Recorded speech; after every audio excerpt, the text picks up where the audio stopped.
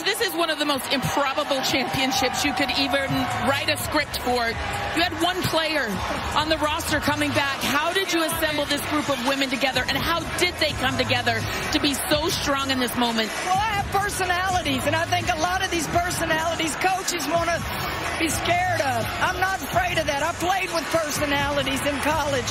I played with a personality myself. They just are ballers. And golly, Holly, I, am just stunned. I'm uh, blessed. I'm appreciative. It's Palm Sunday. I just, wow. Go and enjoy this with your team, coach. Thank you.